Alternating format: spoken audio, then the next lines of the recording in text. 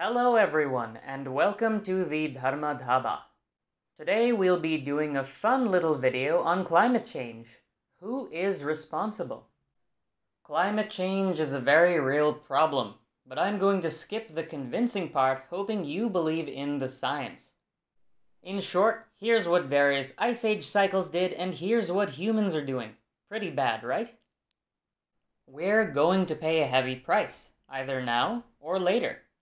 The question is who needs to pay that price? Is this fella in the same boat as this fella? They're both going to need boats pretty soon, am I right? Get it? Because of rising sea levels? It sounded better in my head. Let's use data to get to the bottom of this. These are the annual emissions by country. In 2017, China and the US were the largest emitters of CO2 in the world. As always, Europe is better than you. And we have our winners. Just kidding. This data doesn't give us the whole story. For one, European countries are so small that they seem to be doing better on this map than they actually are. The land area and population of Europe are comparable to India, so let's look at the emissions per person instead. There we go. Damn North America, we'll get back to you. But wait!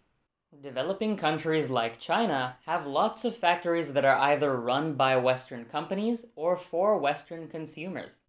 China imports emissions from developed countries and gets a bad rep for it. Always taking one for the team, China. Let's check how much of these emissions are imported or exported. In short, blue is good and red is bad. Now, if we take this into account per capita, this is what we end up with. For simplicity, I've grouped the per capita data of Europe's big five economies Germany, France, the UK, Italy, and Spain into the European five. First of all, Africa and India, you guys are the best. Maybe you should stop throwing garbage on the street so you can look better for the camera, like Canada. Europe, China, and Russia are doing alright. North America, Australia, and Japan are insane. Damn it, Japan, why do you always take everything to the extreme? I still love anime though. You could say that India and China only look small because of high populations and that their total emissions are still large, but the fact of the matter is that each person in a developed country needs a lot of land, resources, and waste to maintain their standard of living. If I had a country with just one person in it that produced 5% of the world's emissions, it would be terrible of me to say that I'm only producing 5% of the world's emissions, so I'm all good. I'm looking at you, Seth Rogen. Get it? Emissions? At least he's growing trees. So, in terms of annual emissions, we have a clear picture, and we're almost done here. The thing is, we've only looked at carbon emissions for one year. But carbon doesn't just go into the atmosphere one year and then disappear the next. It's not the Backstreet Boys' comeback. According to NASA, carbon dioxide can remain in the atmosphere for hundreds of years. Remember that annual emissions map we looked at? Check it out in 1950. And in 1900. That's right, Europe and North America have more skeletons in their closet. You know, on top of all the real ones. They've both been emitting like there's no tomorrow for hundreds of years. If we account for all cumulative emissions until 2017, this is what the world looks like. Again, that's a lot of red for such tiny countries, and we need to adjust for per capita emissions here too. And voila, our final cumulative per capita emissions by country.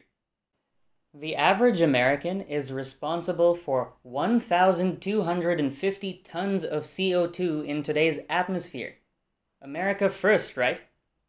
Let's put in perspective how insane this is. One single hardwood tree absorbs about one ton of CO2 in 40 years.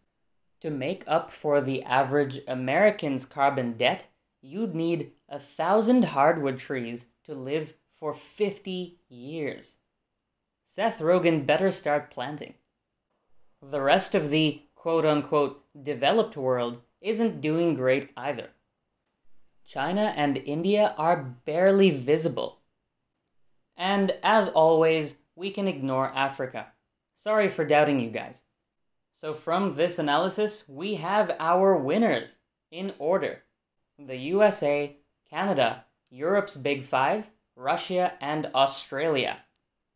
Let's take a moment of silence for the number of tree years one citizen of one of these countries has under their belt.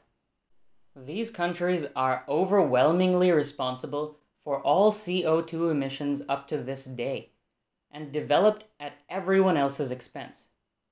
Unfortunately, regardless of who the blame falls onto, we'll all have to deal with this together.